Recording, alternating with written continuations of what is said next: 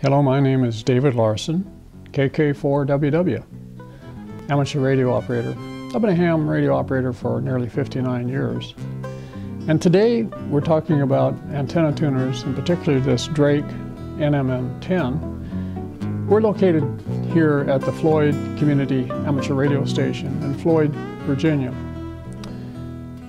Been having a lot of fun talking about different antenna tuners, and today we have this Drake antenna tuner, which represents tuners uh, in the 60s and 70s. So it's old, but not real old. So let's take a look inside on the front and the back and see what it looks like.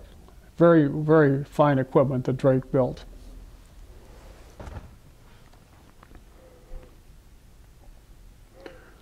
Well, let's take a look at the controls on the front of this Drake MN7 antenna tuner or matching network as they refer to it.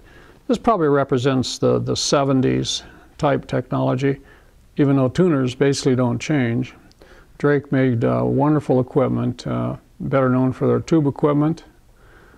They did uh, make some solid state equipment in their later years, but they're well known for their tube equipment, and I have a good bit of it myself. Wonderful equipment.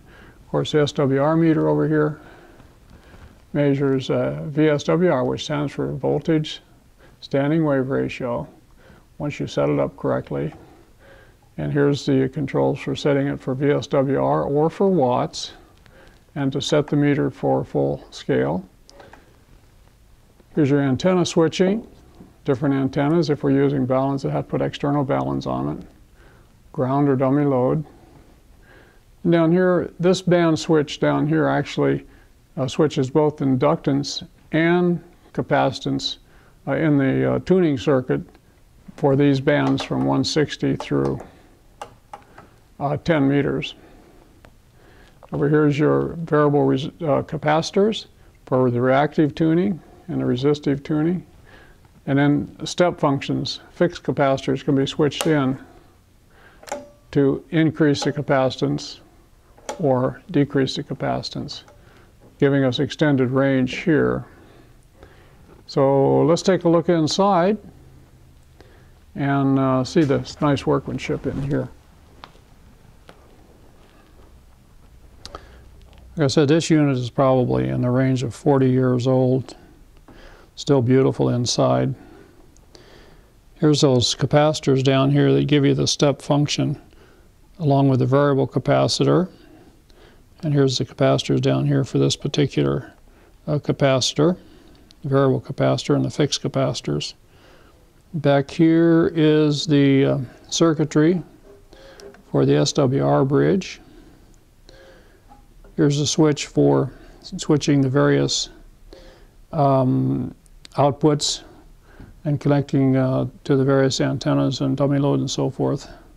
And down here at the bottom, nice ceramic switches. Very nice solder job in there. Nice big ceramic switches down there too. And uh, an additional coil for inductance in your main inductance coil. And you see the taps down here for selecting the various inductances. So let's turn this around and take a look from the back side. Well, on the back side, we have to, if we want to use a balun, we have to put an external balun on here. But here's our ground connection.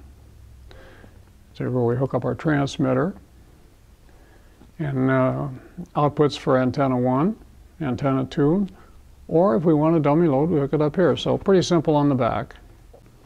But again, as all antenna tuners we see, it's pretty simple. Consists primarily of uh, capacitors, variable capacitors and inductors as an impedance matching device. So we can match the output of the transmitter impedance with the antenna feed line impedance. That's all it does. Well, let's take a look at the schematic diagram for this Drake NM7. The circuit over here is simply the uh, SWR bridge or power meter. Here's your variable inductor the fixed inductor. And this switch is not only inductance, but also you see some capacitance in here. That's on the front panel. You see that switch labeled 10 meters through 6 meters. Here's the two variable capacitors for tuning reactance and of the uh, unit and to, to switch in additional fixed capacitors across this variable give a larger range of capacitance. And also here's the capacitors here switched in with this across this capacitor giving a larger range of capacitance. And here, let me remind you that antenna tuners do not make a poor antenna or poor antenna feed system work any better. What they do allow, though, is allow impedance matching between the output of the transmitter and the feed system, so you have maximum power reaching the system.